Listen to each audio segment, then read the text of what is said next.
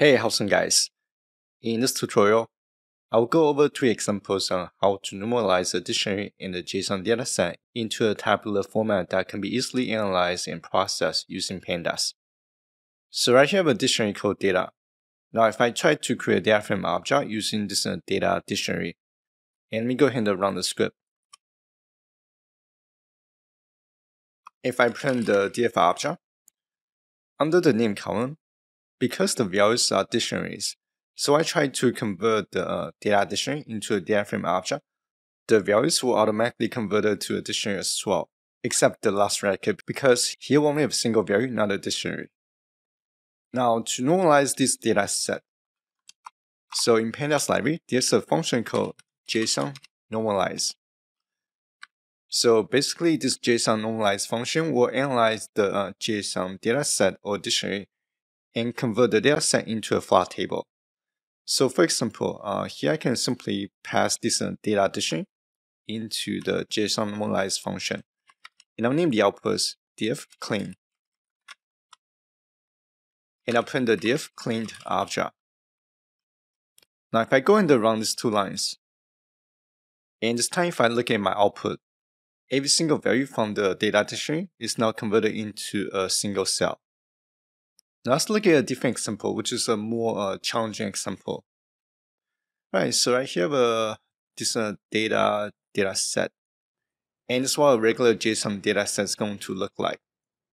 So if a list with two records, and each record will have different fields, and from this uh, county fields, we have a list of records that contains uh, two dictionaries, and two dictionaries from uh, the other record. Now, if I go and uh, print this uh, data data set as a data frame object, here around uh, the entire script, and it's going to be uh, the output that we're going to get. So we have four columns: state, short name, info, and counties. But for the info column, for each value, uh, we have a dictionary, and for the counties column, we have a list of dictionaries. And because the JSON normalize function is designed to work with JSON dataset, I can simply pass the JSON dataset to the uh, JSON normalize function. And I'll name this as df2. And I'll run these two lines.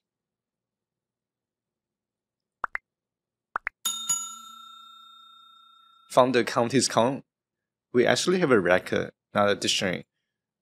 So from the JSON normalize function, there's a parameter called record path. So we need to uh, specify that based on this uh, data structure. Want to flatten the counties record? We'll pass the counties count label to the record path parameter. Now this time if I rerun these two lines, once I apply a value to the record path parameter, the function will only return the columns that you specified it based on the record path parameter. Now, to retrieve all the columns, we need to use the metas parameter to specify that uh, based on the entire overall data set, which columns do we want to return. Alright, so this is going to be a list.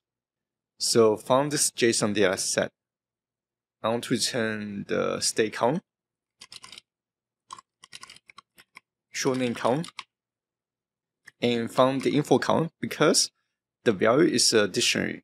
So we need to uh, reference the parent label first, followed by the column name, and which is going to be governor.